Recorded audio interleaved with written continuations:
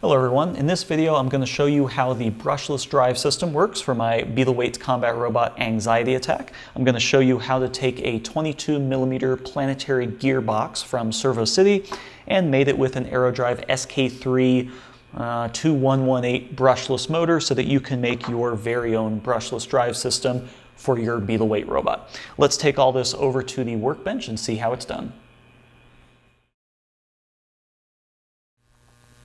In this video, I'm not really going to go too in-depth about the benefits and the pros and cons of brushless versus brushed, but I can sum it up in kind of general terms. Generally speaking, a brushed system such as this is going to be heavier, but it's also going to be more reliable. A brushless system like this one over here is going to be a lot lighter and it's going to have a better power to weight ratio, hence making it lighter, but it's going to be a little bit more complicated to implement, uh, mostly because of the spinning outrunner here, uh, the much higher RPM ratio, so the need for a higher gearing, and a couple other little factors like that. You will also need to mate this with a custom ESC and possibly do some custom programming. So brushed or brushless is not really for the beginner or the faint of heart, but it does have some benefits and there is a good reason why a lot of people are doing it. And if we look at this scale over here, this kind of um, paints a nice picture of the difference. So this brushless setup is weighing in at around, um, what was it, 68 grams, and the brushed equivalent is about 93, 94 grams. So there's about a 50% weight savings in going with the brushless, and you can also see there is a pretty good size benefit as well. So that's really all I'm going to say about brushed versus brushless. Let's go ahead and start taking these apart. In the description, I have links to all of these products, so you can definitely check that to know exactly what I'm using. This is the premium planetary gearbox from ServoCity. It is a 22 millimeter diameter right there, and they do mate it with um, one of these little brushed motors. I'm using the 280 RPM version. They list everything by the final RPM out here. So this is only 280 RPM, but the gearbox is something completely different. The gearbox is a 43 to 1. If you click on all the various uh, motors on their website and just scroll down to the specs, they actually do list the ratio of the gearbox. So this is a 43 to 1. A little quick um, note about calculating final RPM. So this is a 3100 kV motor, which means that for every volt we put into it, it is 3100 or 3000 RPM. So if you're using a one cell lithium battery, which would be eh, roughly 4 volts, then that would be 4 times 3, you'd get 12,000 RPM. And then if we take, what, 12 1,000 divided by 43, that would give us a final output of about 280 RPM, which is um, actually really interesting. Uh, so 1 volt will give you about 280 RPM. But if we use a two cell, it's going to be about double that. If we use a three cell, it's going to be three times, and the four cell, it's going to be four times that. So that is basically how you calculate this, is however many cells you're using for the battery, multiply that by four, then multiply that by the kV rating. That'll give you the final RPM value here, and then divide that by your gearbox or your gear ratio here, and that will give you your final output. I am using a four cell, so four times four um, four cells times 4 volts times 3100 gives me like, I don't know, close to 50,000. Divided by 43, my final output is about 1100 RPM. Then you're going to have to take into account the diameter of your wheel because each wheel, one revolution, will travel a different distance. So pay attention to that and that will determine your final speed. I think generally speaking, the rule of thumb today is you want at top speed to be able to get across the arena in like one or two seconds, something like that. So figure out the size of your arena, figure out the size of your tire, and then just kind of work backwards and figure out what final RPM you want at your motor, and then that will determine, you know, your battery. But there's a lot of variables, so I can't make all those decisions for you. Um, in the description down below, I have a couple links to some calculators that might be able to help you out. Okay, with all that out of the way, let's start taking this apart. You've got four little screws on the face of this. We're just going to go ahead and take those off. This one's already been pre-loosened because, well, I got to prepare for the video, you know? So we just undo these four. And be careful not to let this separate. the uh, motor should just come right off if I've taken all these off. There we go. So the motor has the base plate on it and you have this little steel washer and then this is what your planetary gearbox looks like. So if you've never seen a planetary gearbox, um, this is what they look like. You have all these little um, gears in the middle and they spin around this inside track. There's names for all of these. I think these are the planets or something like that. But anyway, this is what a planetary gearbox looks like inside. And it will just come apart at this point, so be careful about that. Um, might want to hold it in place. If I put it upside down like that, all the stuff will fall out. So I'm just going to kind of set it like that for now. So first things first, we need to get this mounting plate off of here. So you can just kind of flick that little thing away. There's two screws. We're going to take these off. And now that mounting plate comes off. The biggest trick here is finding a mounting plate that works with your motor. Thankfully, these are a very similar size, so it works together. So there's no real issue there. And I'll go into those details a little bit later. Next thing we need to do is take off this pinion gear, and it is pretty tight on there and there's a couple easy ways to do this. So let's bring this over to the arbor press and I'll show you one of the ways to get this off. So what we're trying to do here is remove this pinion with hopefully not damaging the motor. It doesn't really matter, we're not going to use it, but getting this motor off from the shaft. I machined this little plate which just has a little channel which you can slide in and then we can easily press it out. I realize that most people are not going to be able to do this, so I have another solution. Now, there's a couple other ways that you could do this that I don't really recommend, but if you're in a pinch, you could use two flat-headed screwdrivers on either side, so like one on each side, and you pry it up, and that could pop it off. I don't really recommend this. I have another way to do it. Um, so let's do it by my method and then I'll go ahead and put it back on and then I'll show you another way to do it if you don't have an arbor press or you don't have you know all these little fancy tools sitting around. So it's pretty simple. I'm just using a pair of one, two, three blocks to space this up a little bit and then I simply slide this inside like that, and then the press comes down and pushes through this. Now, um, you need something that's about this same size to be able to push the motor down through. I found that the um, little mounting screws that come with the brushless motors worked just fine. So let me go grab those. So here is a little pair of hemostats with the um, screw in it, and then we're just going to kind of line things up.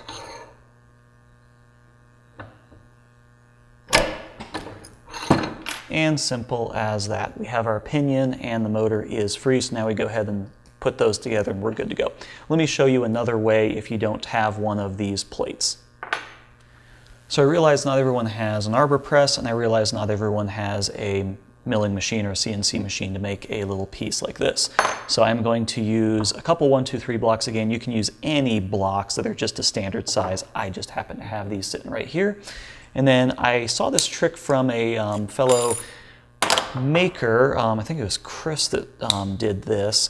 So we're just going to use a couple of razor blades and we're just going to make our own little spacers. So you see they just kind of sit like that and there's that nice little hole in the middle. So we're going to use these just kind of go inside that space, being very careful not to cut yourself on camera. Um, I actually haven't done this yet. I'm just going to use the one. We're going to see how that works out.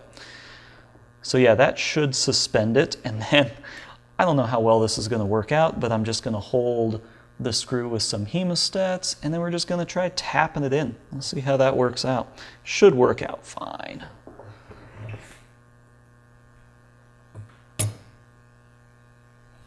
These as close as possible. I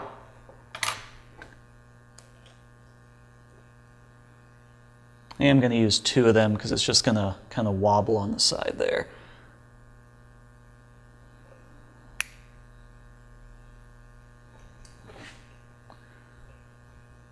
Just going to hold that over the top.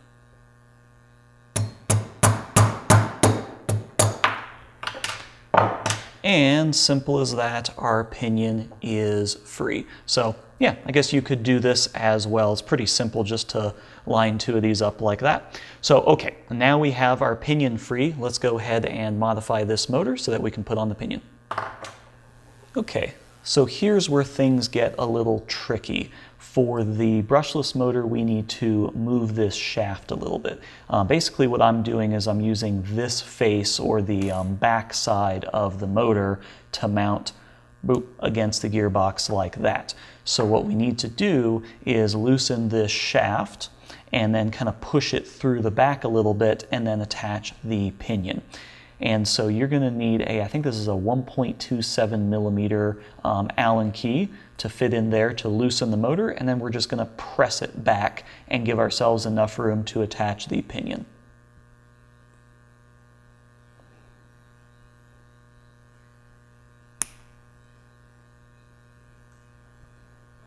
When you're doing this, make sure you're using a high quality Allen key and make sure it's really in the hole. If it's not in the hole and you end up stripping out that um, little set screw in there, there's really not a whole lot you can do after that. So we're just gonna loosen this enough and then we're just going to basically push the shaft through like that. I'm gonna go ahead and use the arbor press just because it is the easiest way to do this. So here we are, now we have the motor with the shaft sticking out. Um, you might need to kind of adjust this length. Essentially what we're trying to do is match the distance from this face to the end of the shaft. So whatever the distance is from here to there, we're going to match that. So I just simply use my calipers, boom, set it like that. It looks like it's five millimeters and we just wanna make sure that our shaft is sticking out that same amount of distance. So boom, sit there right there at five millimeters. I'm gonna remove this C-clip and then we're going to use the arbor press to press this back on. You know what, I figured I'd show this just in case. Um, so here's the pinion, we're just gonna go kind of loosely set on there. If you don't have an arbor press, you can still just do this with a good old trusty hammer. Just make sure everything is nice and lined up. You have a solid surface. And there it is. Our pinion is on and everything spins nice and freely. So now it's just a matter of putting this back on and reassembling it. Since this motor has 14 millimeter hole spacing across there, it works with the mounting plate that comes included, and so we're almost done here. When you're putting this mounting plate on, I'm to unscrew it a little bit.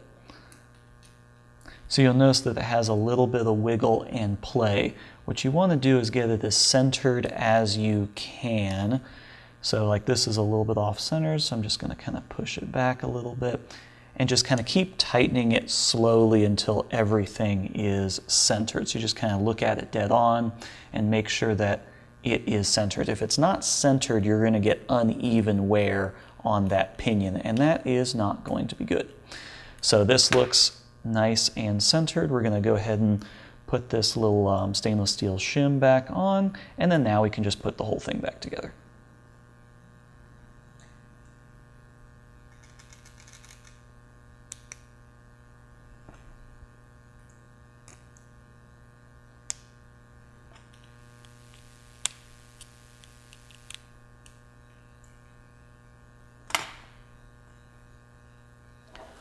So there you go. That's pretty much all there is to it. Um, these both spin nice and free, and that's about what it should look like.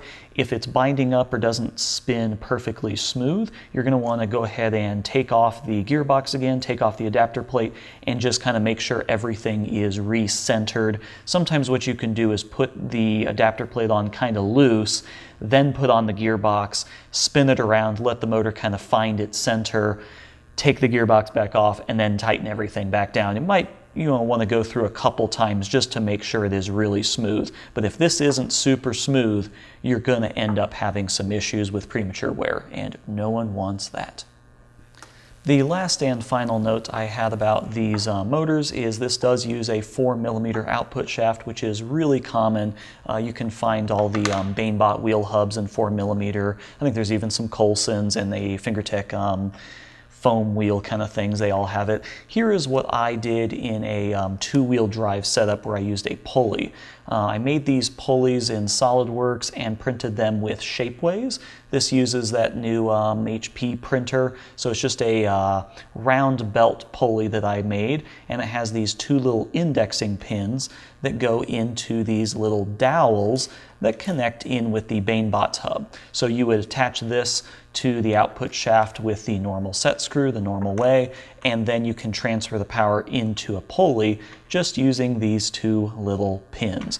The reason I did this is because you can't really do a D shaft in a 3D printed component like this, so this is the easiest way to get these two to be coupled together. I've seen other people also do like a double width BaneBots hub and then do some machining on it, but this is a really pretty easy way to get this done. You can print this out through Shapeways, get it in, and then just um, take your shaft, push it through the two at once, like that, and then just drill through the holes as guide holes to drill into the BaneBot. So this actually worked pretty well for me. So just one of the ideas on how you can attach a pulley to the end of this motor. So that's really all there is to converting one of these motors into a brushless drive. A couple of notes. I didn't go into all of the little variations and all the little tweaks that you can do on this. Me personally, I like to leave the pinion just pressed on. If it slips, it slips. I don't really care all that much. Some people don't want their pinion slipping for whatever reason, and they will use either Loctite, you can use super glue, or I've even seen people solder the pinion onto the shaft. That is definitely something else that you can do.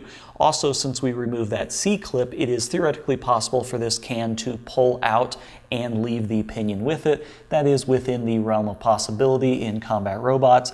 I usually fully constrain my motor to where I have something against the back of it so the can can't fly out. That is also something you might want to think about. Also, this shaft extends out the back, so you could cut that off or you could make a um, space for it, something like that. So there's definitely a couple things to consider.